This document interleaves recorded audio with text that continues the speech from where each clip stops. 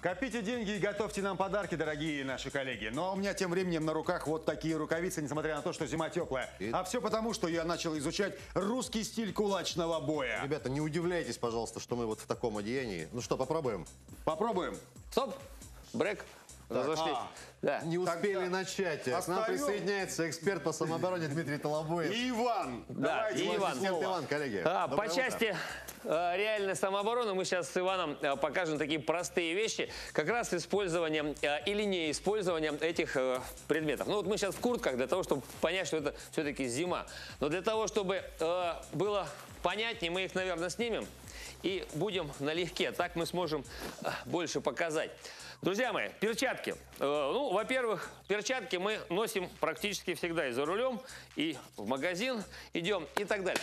Перчатки руку вашу могут защищать. Поэтому, когда работаете в кулачном режиме, да, сжатая рука, вот тот материал, который внутри, он работает как кастет. Руку вы не сломаете. В принципе, это похоже на э, боксерские бинты. Раз.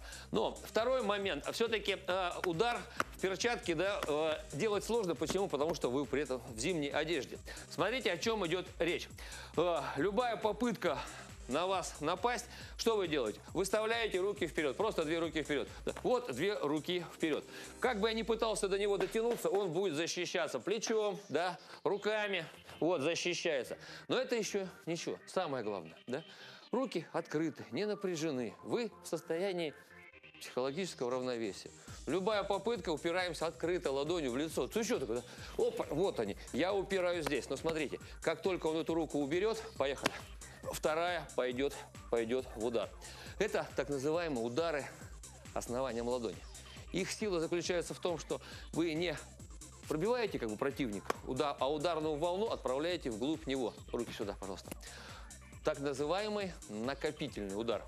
Даже на небольшом расстоянии, вот смотрите, на небольшом расстоянии, путем накачивания нескольких ударов, да, можно отправить человека очень далеко. То же самое, пошел. Вот, оп, то человек уходит. И когда я пытаюсь Ивана, как всегда, обидеть, огорчить, да, всегда. А Иван да, сопротивляется. Спросить у него, сколько времени на его телефоне, но в моем кармане, да? Вот, я тут же нарываюсь, натыкаюсь на препятствие. Поехали. Ой, вот, друзья мои, любое препятствие, выставленное в область лица, заставит человека отпрянуть, э, сре- среагировать, да? И пока я здесь с этой рукой буду работать, сейчас Иван Викторович пошел очень плавно, Фу, накопительный по кругу. Пошел раз, два, вот они, вот они, пошли удары. Все, закончил? Хорошо. Телефон перекочевал обратно. Держи руки, да, держи руки. Смотрите, а, мало того, что он делает в накопительном режиме, тын-тын-тын-тын, и меня сдвигает, он еще двигается вокруг меня. При этом что происходит? Сила удара вкладывается в разворот корпуса. Вот простой короткий удар, а вот он с корпусом, с корпусом, с корпусом. И при этом он еще Выходит из поля зрения. Все, а там он может сделать все, что угодно. Дмитрий, а вопрос такой. Сейчас миллион разных видов перчаток. Вот что-то порекомендуете? э, Материал какой-то, кожаный, не кожаный? э, Дутыши, не дутыши. Или, или в этом нет никакой разницы? Нет, а, давайте а, будем ориентироваться самое а, по погоде и по удобству, допустим, вождения машин.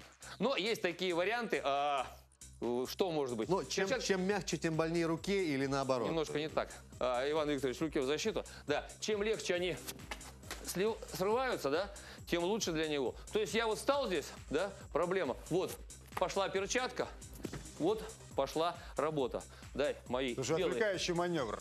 Да, смотрим. А, в лицо кулаками бей. Ой, защищаюсь, руки открыты, поехали.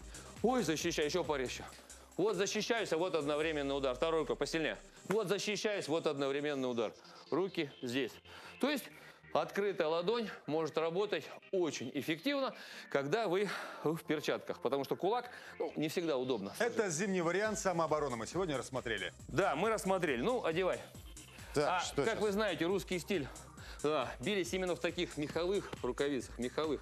По сути, по мягкости, согласись, С они собольком они почти, великолепны, да. почти как боксерские. Именно по этой причине, да, Иван Викторович, да, двоечку поехали.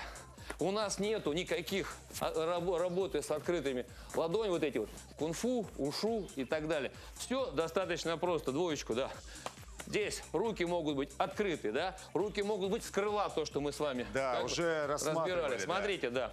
Очень хорошо работает накопительный удар в любых мягких перчатках. У тебя-то, да, конечно, Блокировочка, кулачно-накопительный, да, пошел. Блок пошел, накопитель, вот он. Вот он идет накатом. Меня ногой пинай. Вот я ставлю блок ладонью, а вот я накопительный. Работаю сюда на короткой дистанции. Дмитрий, важный вопрос. Если желающих и интересующихся временем более одного, здесь какие-то дополнительные советы будут? Более одного что? Человека Нападающих? спрашивают, когда время, да. А, когда нападающих двое, ну вставайте. Раз нападающий, два нападающий. Да. Я прохожий просто. А ты просто прохожий. Я Ты снег прохожий, Тебе не интересно время. чищу, да. Да. Как э, обороняются против двух человек? Во-первых, ситуация следующая. Ну, давайте, Саша, встаньте, чтобы зрителям видно было. Вот. Если я стою здесь посередине, у меня в любой момент времени опасность заключается аж в 10 случаях. Раз, два, три, четыре, пять, шесть, семь, восемь, девять, десять. Десять сегментов, которые меня могут ударить. Вот я стороны. стою здесь и должен успевать соображать. Нет, не успею. Поэтому что, все, что делать? Выставляем руки и смещаемся в сторону крайнего. Как правило, менее крупного противника. Вот сюда. Так получилось, что это я сегодня. В этом случае, да, в этом случае, для того, чтобы он до меня дотянулся, ему нужно сделать один-два шага, да? Здесь, я сейчас сюда смещусь, вам удобнее будет доставать меня этой рукой. И как только, ну вот этой рукой за ухо хватай меня, я в лоб прямо, да.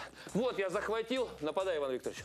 А вот я закрываюсь. А вот я иду в магазин, как и шел, в общем-то. То есть смещение в сторону одного противника, и все действия направлены на обходной чтобы маневр. уйти, да, с э, линии атаки. Вот такие секреты, но это, помните, только секреты самообороны. Никогда не применяйте их в целях нападения, правильно? Да, Спасибо только в огромное. мягких варежках. Только в мягких. Спасибо вам Спасибо большое, большое. господа. Поучительно все было. Тренируйтесь, занимайтесь спортом, будьте здоровы и будьте всегда в безопасности. И в перчатках. Как и ваши родные. Пока. Да. Сейчас немного полезной информации продолжим.